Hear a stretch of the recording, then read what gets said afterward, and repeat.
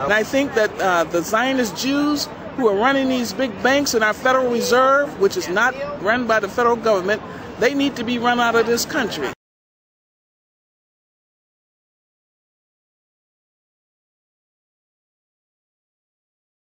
Man, I'm a Jew. Why are you fighting with us? Why? You got the money. That's why you're fighting, you Jewish man. We got the, we I got the money because I work for 40 I work, years, day God night. bless.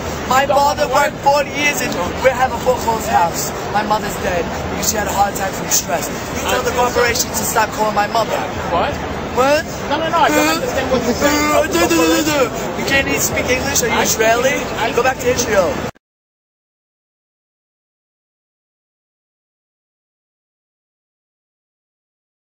Google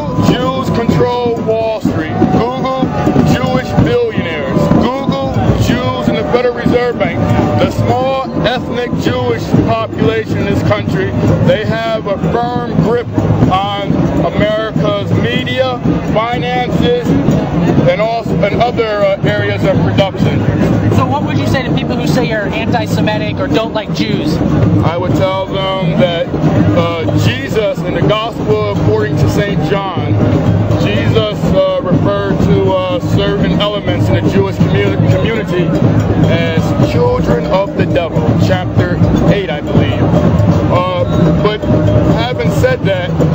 fact of the matter is, is that there is clear, the, the fingerprints of these Jewish billionaires and hedge fund managers and bankers is clear and convincing.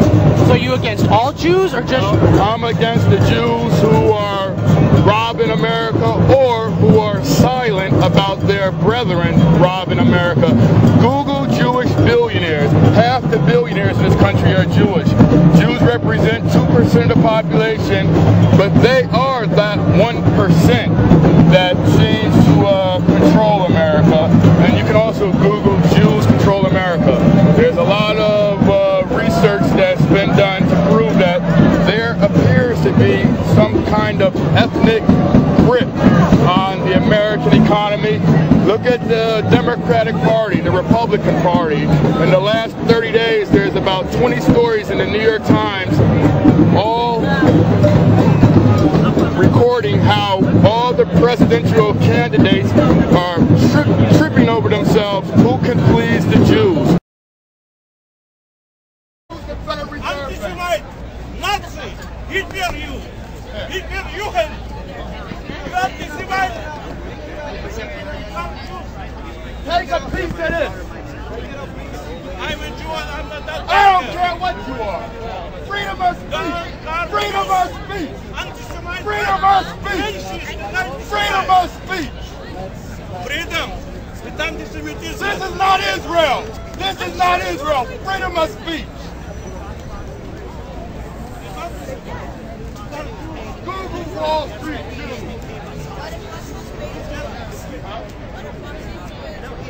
You're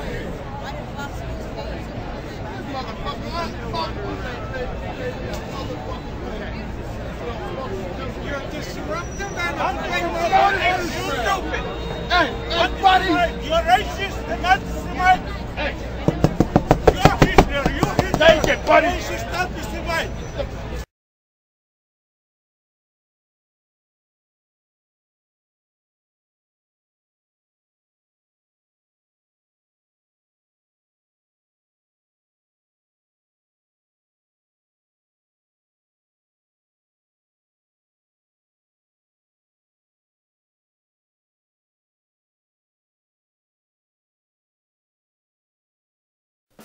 I am not a liberal. I am not a conservative. I do not dwell exclusively on the left or right. I am not a statist or a libertarian. I am me. I have made a video speaking about the Tea Party. I made a video that expressed my concerns about the current movements potency and my support for those who select this path. However, when I made the videos, I did not attempt to bash anyone. Politics is a dirty, disgusting business. Talking about it makes me feel dirty. However, it amazes me the division that comes from speaking rationally about protected groups.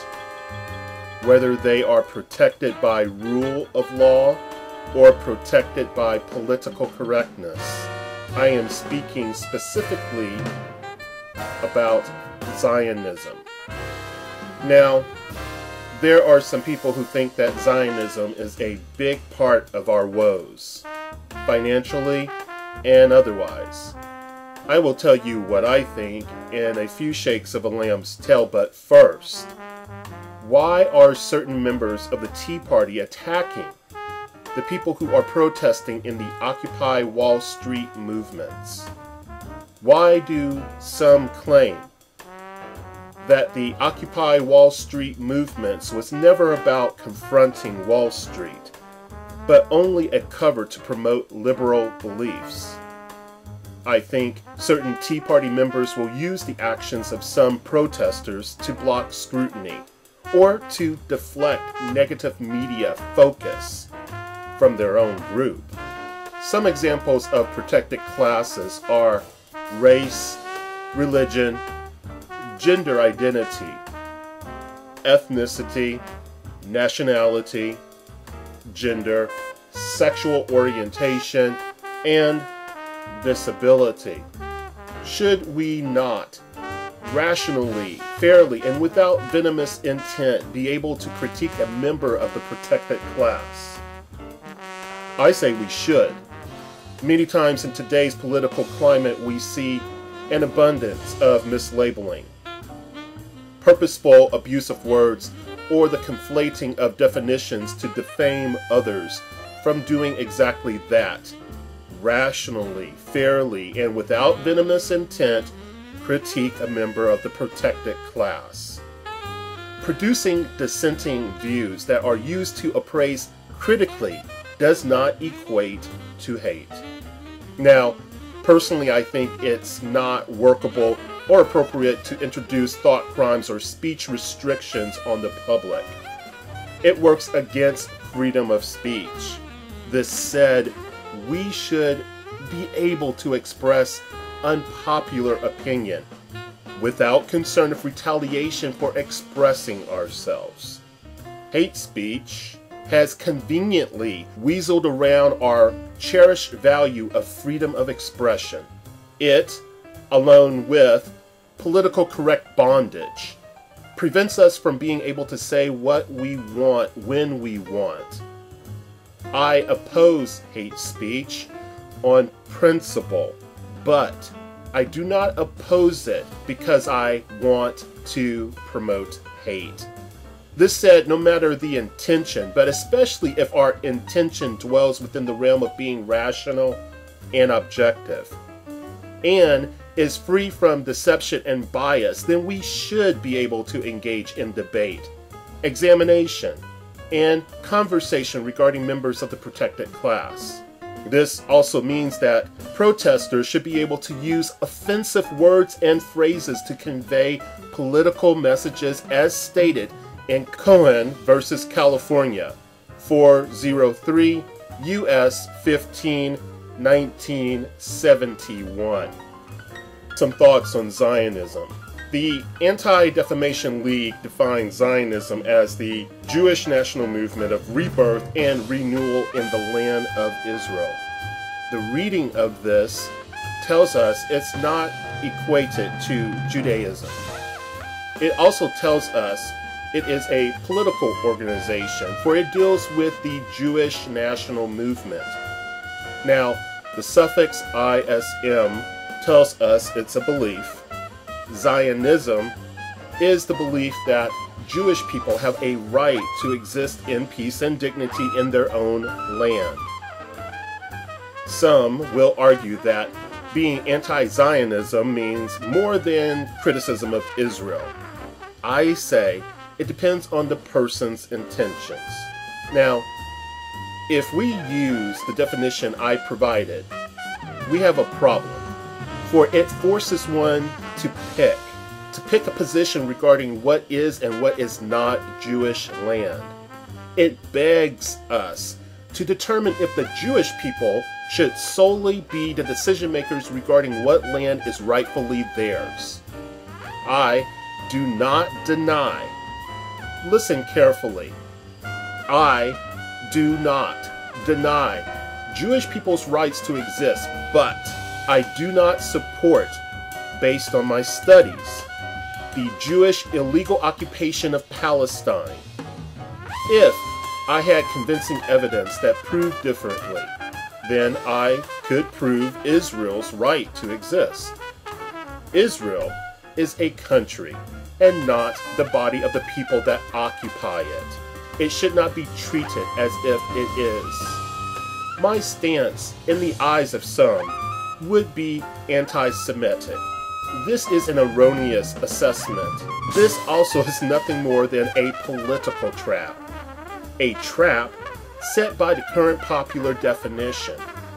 I am not opposed to the existence of a group. I am opposed to their actions. These actions are deserving of criticism and contempt. Let's now turn our focus back on the protesters. Assuming they are not actively promoting anti Semitic or racist rhetoric or dogma, is it lawfully inappropriate for them to carry signs that condemn Zionism and not the Jewish people? I say, it is not anti Semitic. However, verbally attacking Jewish people because they are Jewish is unethical and should be scorned. Maybe some protesters are rightfully angry. Ally or not, we give Israel money that should be used to help struggling Americans. Should Americans suffer because money that could have been directed to ease their suffering was not available in part to its allocation to Israel's interest? Why are we willing to cut Social Security and welfare but are willing to give more money to Israel and the military industrial complex? Sounds like madness to me. Sounds like madness to me.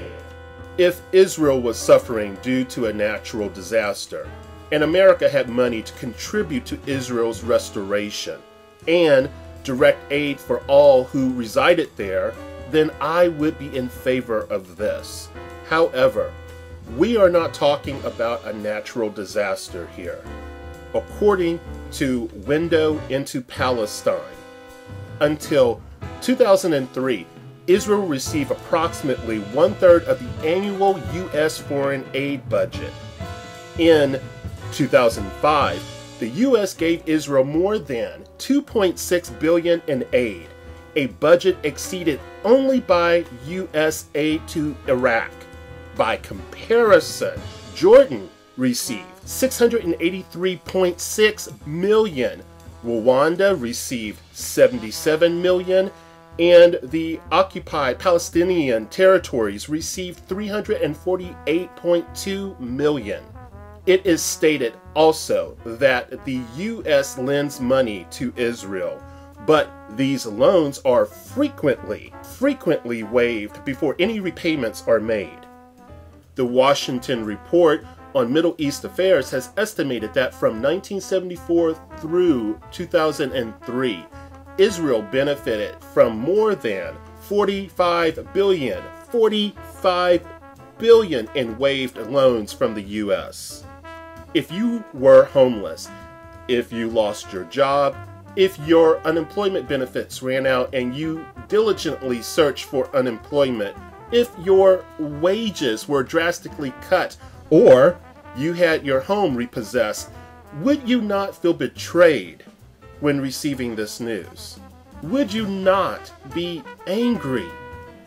If your memory reported another saying to you, well, sorry, there's nothing we can do for you. Yet, you researched what I told you and realized it was true. I cannot support any action that is done with purposeful intention to hurt another unless it was in self-defense. So, I am not showing blanket support. No, I am not showing blanket support for all who protest at the Occupy Wall Street movements. 4. I do not know their personal intentions. Some are out there to push their agenda, and as a result, are just polluting the waters. Some are trying to reduce this movement to a political comfort zone they favor. For those who are protesting slavery under compound interest, bailouts, corporate oligarchy, poverty, abuse to human rights, promoting the end of the Federal Reserve, pushing for the end of all of these unnecessary wars, which will dramatically decrease when there are no banksters pushing for it. No private central bank issuing the public currency at interest, which leads to economic slavery via debt while financing all sides of the wars. Let that sink in. If this is your message, your fight, your protest, then I do support you. Notice all of the items listed do not conflict. I also support the right of an individual to make a political statement against political movements. Especially, especially ones that does not have origins in America. Would you not want to properly be informed regarding the history and current activity of your bedmate, whether it be political or otherwise? Friends, friends, I leave you with these questions. Does Israel have anything to lose with the advancement or success of occupied Wall Street? If the balance of all of the protests actually did manifest, actually did manifest a change that benefited the people, would this change demand an end to the special, very special, Israel and America financial relationship? Would Israel current influence over, some would say control over, the United States war machine end? Would the control of the U.S. veto at the United States Security Council exist no more? And will the media concentrate on the real concerns? Or will the focus be placed on a few kooks who happen to be anti Semitic, or pretending to be, in order to poison the well of what is occurring at the protest? Poison that allows the media to dismiss, show contempt, and ridicule the movement. Think about it. Think about it. Think about it.